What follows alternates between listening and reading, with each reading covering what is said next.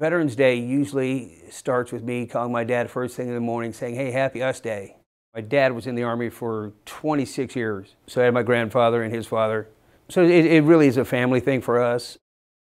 Uh, went into the Army when I was 23 years old. Started my active duty period in June of 1994 and left active duty in April of 2004. Serving the Army gave me pretty much everything I am as an adult uh, that my father and mother didn't give me. Taught me about how to take care of myself, how to discipline myself, how to stay on track with things. It gave me a sense of accomplishment, and it taught me a lot about having compassion for people. When I initially separated from the service, the economy was not doing as well. And it was one of those weird things I saw in advertisement. TDOC was hiring. It was going to be a six month job, maybe a year. It turned into a 13 year career for me.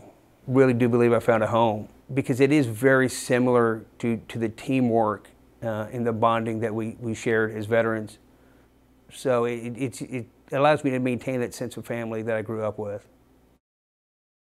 Uh, I've had the privilege of instructing thousands of basic students, both in the correctional and the parole officer series. Spent a lot of good quality time on the mats, uh, teaching self-defense and defensive tactics. Uh, spent a lot of time as a, on the range as a firearms instructor. I teach cell extractions now. Done a lot of good quality training with this team. Everything from basic trauma care to some of the training that we generate here. Uh, been given the opportunity to work with a lot of other departments, uh, working with and training with the, the Highway Patrol, the Park Police, TWRA, and a lot of the other great state agencies.